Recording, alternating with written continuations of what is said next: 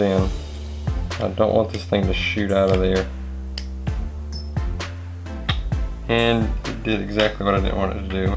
What's going on everybody? Welcome back to another episode of B Fishing. Today we got a pretty good one. We're gonna be doing something that you should do at the start of every season. I would urge you um, to take the time before the spawn, before the really the good pre-spawn gets on, take the time, take your reels apart, oil and grease them up.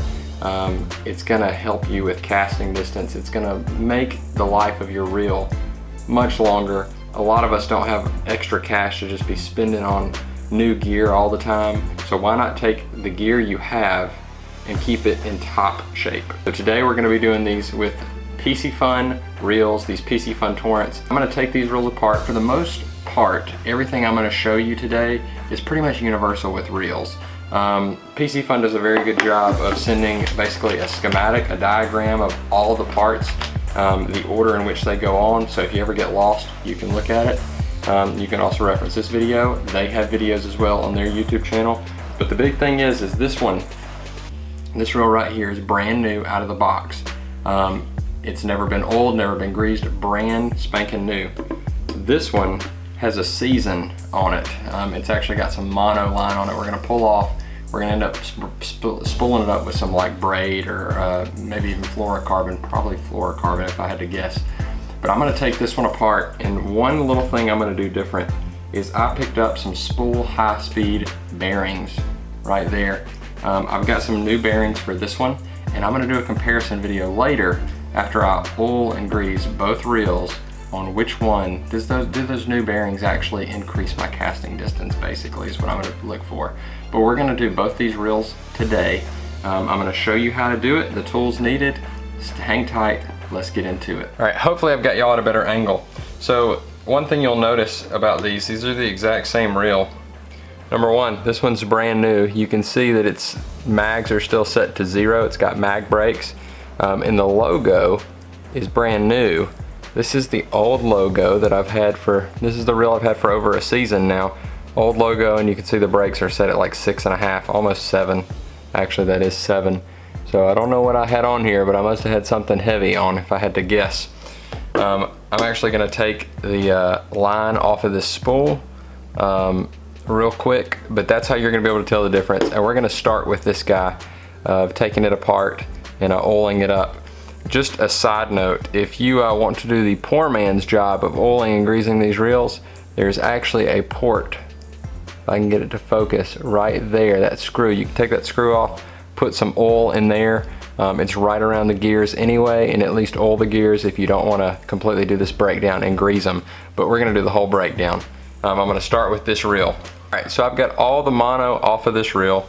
This is the old reel, as you can see, with it spelled out Piscifun as opposed to the logo. This is the brand new one. The reason I'm doing this is because I don't think it would be a fair comparison for me to change out the bearings on a brand new reel and was old and greased up an old reel comparing it to brand new bearings. So brand new bearings in this one stock from the factory. We're gonna put brand new bearings in the one that is older um, to do the compare in the next video series or the next video in the series on these reels. So the tools you're gonna need, um, I've got a little mini uh, driver kit here. So I'm probably, or I know I'm gonna need a little uh, Phillips head screwdriver right there. I'm gonna need that. The rest of it should come with the reel. This little tool right here, it's a 10 millimeter socket that comes with the reel as well as a little bit of a uh, flathead and a pick. Um, I've got my Abu Garcia Precision Oil and Abu Garcia Precision Grease that we're gonna use on the reel. Um, I've got my diagram which came with it and I've got my extra bearings. So that's what we're gonna do right now. So first off, we need to remove this nut right here. We're gonna start with removing the, uh, the handle. The way I'm gonna do this, I'm gonna have all my tools right there. I'm gonna lay these out in order in which I take them out up here. So I'm just gonna start putting them this way like a book and when I get ready to put them back I'm gonna go in reverse order if that makes sense.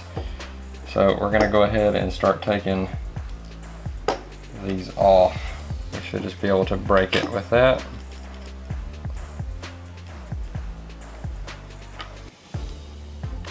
And the handle should just slide right off.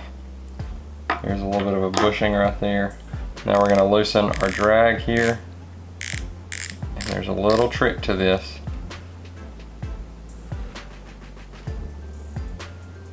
Little trick to this. Once I get this nearly off, I don't want to take this all the way off. All right, there's a bunch of stuff in our drag system. So I'm gonna sit here and do this to make sure it all falls in that, that little drag cup there so I don't get these out of order.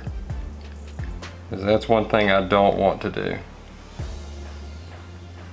If this all gets out of order, I'm in trouble.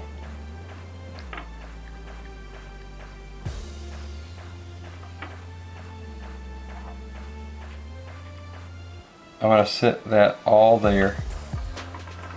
That is in order. All right, so we've got we've got the drag taken off and all that is in order, which is again good. It's exactly what we need. Now we're gonna flip over here to the opposite side. We're gonna take this guy off. Take our spool out. So we're, we're getting close to breaking this thing completely down now. There's gonna be a couple screws in this.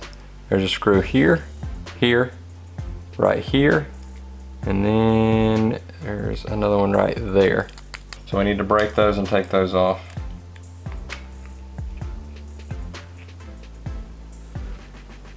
All right, so we are fully exposed here. There, but you can actually see where we greased it last year. We got a little bit of grease still in there. So we're gonna start by taking our main gear off. We'll try my best to just keep all this together.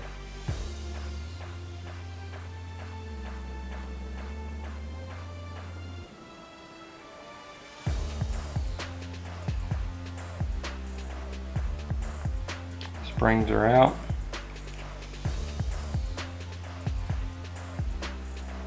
Opinion. All right, one of the hardest things is getting, there's a, actually a bearing right, see it right in there. That's one of my main bearings. It's gonna be this guy in the bag. So one of the hardest things is getting a small little pick like this, getting there and taking this little, little pin out. I don't know if you can see it. Taking that little pin out that holds that bearing in there. In theory, this thing should just slide right out like it just did. So that's one of the bearings we're going to be replacing. Uh, this little guy right here. That little guy right there. So we're going to drop him in and uh, start our greasing and oiling. The other bearing should already be out and exposed. Ah, not that bad snapped right in. And uh, before we close this up, I'm gonna drop just a dab of oil on that, that bearing right there. It already feels really smooth though, that's pretty neat. Okay, so since we're in here, let's take our grease, because this is our main target here. Set that old bearing to the side. Our main target right here is these wheels. These cogs right there. Those are the ones we're really worried about. So really, if you can just put a little bit of grease in the teeth of the bigger one,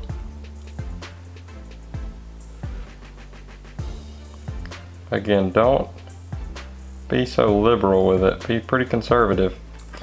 Because as you grease that one, it'll actually get the grease on your second one as you spin this. That's really about all you need. You don't want too, too much grease going on in there. That has been greased, good to go. And we can start reassembling.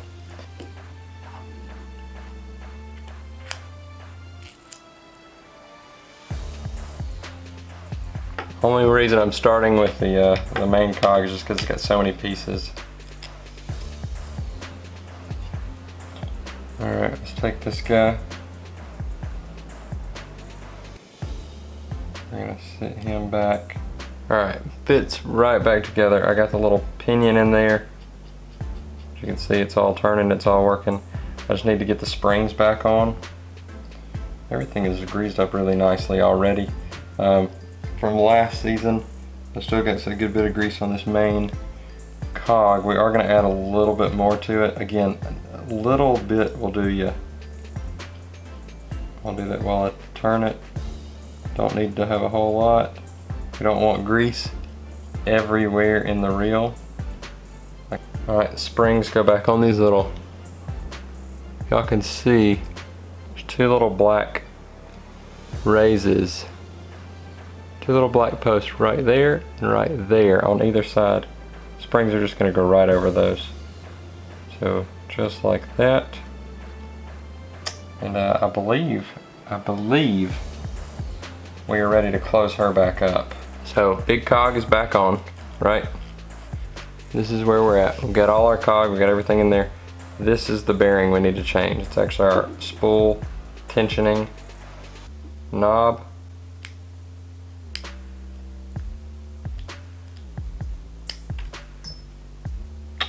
And it did exactly what I didn't want it to do, which is go flying out of there. Give me two seconds to find it. So that right there was a uh, close call, but I found it. I've already replaced the bearing in here. The easiest way is to take the, uh, the actual tensioning knob off um, and pop it out. So I've replaced the bearing in there. Now we have to seat this little stopper spring back in there without launching it again into the floor. That was kind of intense. All right, the thing is back in there finally. I'll put a couple drops of oil on it. That now we can finally close this thing up and uh, be done with this little project.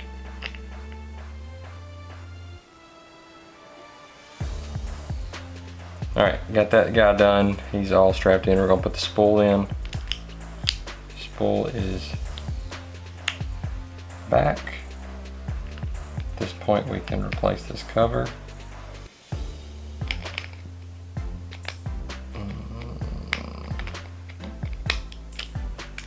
Like so. It's locked back into place. And we'll turn the mags on zero just for this purpose. Alright, so we can go ahead and because we didn't mess with these too much, we should just be able to put these right back on the way they came off. So I'm just gonna reach in here and literally just putting them back on the way we found them.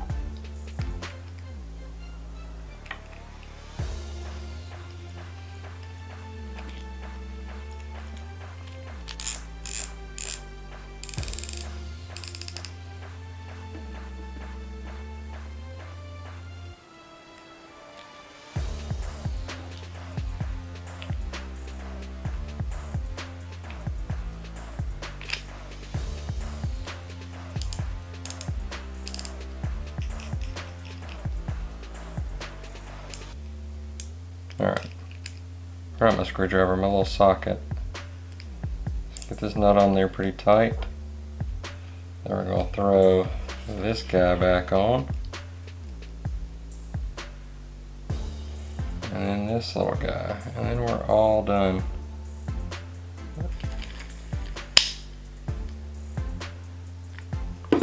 Alright, now that I'm done with the new, or the new bearings in an old reel, I mean, it does feel pretty good. Actually feels really good. Um, we'll peel back the tension on these. Yeah, this definitely one, this is smoother, but I'm gonna oil this one up, oil and grease this one up, and uh, I'll be right back and I will tell you what I think. All right, so I just finished oiling and greasing this guy, the new one. Uh, very smooth. I mean, obviously, you know, I'm a fan of them out of the box. Piscifun out of the box. This thing's very smooth. I mean, the spool is spinning pretty well. Not too bad. However, the older reel, it does, I mean, it just, it does spin longer. I mean, I'll give it that. It definitely does spin longer.